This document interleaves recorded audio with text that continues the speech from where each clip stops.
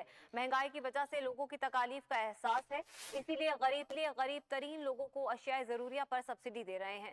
हुकूमत एहसास मोहतरम नाजरीन, अस्सलाम वालेकुम। मैं आपको अपने यूट्यूब चैनल पर खुश आमदीद कहता हूँ। व्यूवर्स आज की इस वीडियो में हम आपको बहुत बड़ी अपडेट से आगाह करने जा रहे हैं। क्योंकि हुकूमत की जानब से ये फैसला कर दिया गया है कि वो तमाम लोग जिनकी माहाना आमदन पचास हज़ार रुपये से कम है, वो लोग अठारह हज़ार रुपये की इमदाद वसूल कर पाएँगे। और जो लोग मुतवसर तबके से ताल्लुक़ रखते हैं और जिन लोगों को अभी तक कोई इमदाद नहीं मिली। तो वो लोग अब आसानी इस प्रोग्राम में शामिल होकर हुकूमत की जानब से ये इमदाद वसूल कर पाएँगे। हुकूमत पाकिस्तान की जानब से ये फैसला किया गया है कि जिन लोगों के पास एन एस ई आर की पर्ची या टोकन मौजूद है तो उन लोगों को अब किसी किस्म के मैसेज करने की ज़रूरत नहीं है। तो वो तमाम लोग जिनको हुकूमत पाकिस्तान की जानब से अभी तक कोई इमदाद नहीं मिली तो वो इस प्रोग्राम में बसानी अपनी रजिस्ट्रेशन करवा सकते हैं। तो अगर आप लोग इस प्रोग्राम में अपनी सही तरीके से रजिस्ट्रेशन करवा लेते हैं तो हर छः महीने के अंदर आपको अठारह हज़ार रुपए की इमदाद दी जाएगी। जी हाँ तो वो तमाम लोग जिन्होंने बहुत अरसा पहले अपनी कफालत प्रोग्राम में रजिस्ट्रेशन करवाई थी और उन्हें इस प्रोग्राम का हिस्सा नहीं बनाया गया था और उन्हें ना अहल कर दिया गया था तो वो तमाम लोग इस प्रोग्राम के तहत अपनी बसानी रजिस्ट्रेशन करवा सकते हैं। व्यूवर्स तकरीबन आठ लाख बीस हज़ार खातन जिन्हें एहसास राशन प्रोग्राम की तरफ़ से बिला वजह निकाल दिया गया था और इसके साथ साथ वो तमाम खातन जिन्होंने बहुत अरसा पहले अपने इस प्रोग्राम में रजिस्ट्रेशन करवाई थी और उन्हें उस वक्त छह हज़ार रुपए की इमदाद दी जाती थी, बाद में उनकी ये इमदाद रोक दी गई थी। तो ऐसी तमाम खातन को हुकूमत पाकिस्तान की जानब से बहुत बड़ा रिलीफ देने का ऐलान कर दिया गया है। तो ऐसे तमाम लोग जो ना अहल हो चुके हैं, या जाँच पड़ताल में है, या ब्लॉक कर दिए गए हैं, या जितने भी मसाइल का शिकार हैं तो वो लोग अपनी तहसील में मौजूद, बेनजीर इनकम सपोर्ट के दफ्तर में जाकर वहाँ पर मौजूद अमले से कहेंगे तो वो आपकी रजिस्ट्रेशन का प्रोसेस स्टार्ट कर देगा। तो जो चीज़ें आपको रजिस्ट्रेशन के लिए दरकार हैं, वो ये है कि दोनों मियाँ बीवी के शनाख्ती कार्ड आपके पास आपके घर का बिजली का बिल होना चाहिए। और अगर आपके बच्चे हैं तो उनके बेफाम भी आपके पास होने चाहिए। तो जब ये तमाम चीज़ें आप लोगों के पास मौजूद होंगी तो वहाँ पर मौजूद अमला आपकी रजिस्ट्रेशन का प्रोसेस स्टार्ट कर देगा। तो वहाँ पर मौजूद अमला आपसे कुछ सवाल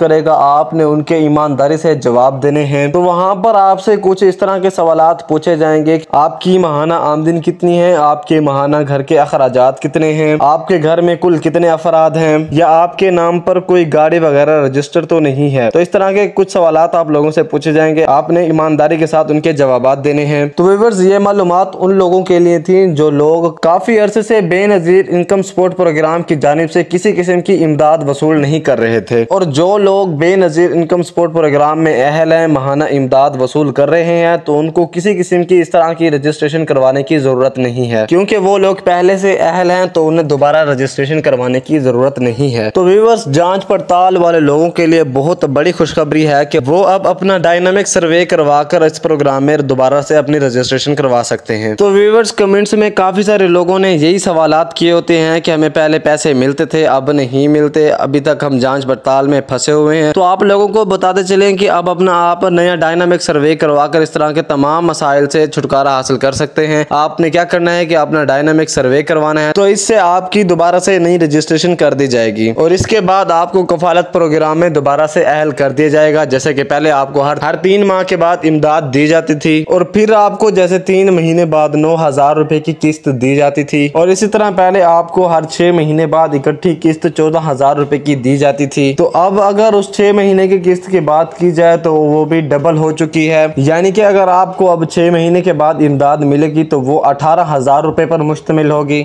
आपको कफालत प्रोग्राम के तहत अठारह हज़ार रुपए की किस्त दी जाएगी। और अगर आपके बच्चों का बेनजीर तालीमी वजायफ में इंदराज हो चुका है तो आपको महाना पच्चीस से तीस हज़ार रुपए की हुकूमत पाकिस्तान की जानब से इमदाद फराम की जाएगी। तो आप लोगों को बताते चलें कि जो लोग इस तरह के जाँच पड़ताल वाले मसाइल का शिकार हैं तो अपना डायनामिक सर्वे करवाएँ और हुकूमत पाकिस्तान की जानब से ये इमदाद वसूल करें। तो व्यूवर्स, इनमें से उन तमाम लोगों को ज़्यादा तरजीह दी जाएगी जिनके पास एन एस ई आर का टोकन या पर्ची होगी। सादा अल्फाज में इसका मतलब ये है कि जिनके पास अपनी पहले वाली रजिस्ट्रेशन का कोई सबूत होगा। जब वो अपनी पहले वाली रजिस्ट्रेशन का सबूत दिखाएँगे, यानी हमने अपनी पहले रजिस्ट्रेशन करवाई थी, और रजिस्ट्रेशन करवाने के बावजूद भी हमें इस प्रोग्राम में शामिल नहीं किया गया। या हम पहले इस प्रोग्राम में शामिल थे और अब नाअहल कर दिए गए हैं तो इस तरह के अगर आप सबूत दिखाएँगे उन्हें एन एस ई आर पर्ची या टोकन अगर आप उन्हें दिखाएँगे तो आपका काम बहुत ही आसान और जल्दी हो जाएगा। तो इससे आपके दोबारा से अहल होने के चांसेस में इजाफा हो जाता है। जब आप बेनजीर इनकम सपोर्ट के ऑफ़िस में जाएँगे तो आप लोगों के पास दोनों मियाँ बीवी के शनाख्ती कार्ड, आपके घर का बिजली का बिल और साथ में एन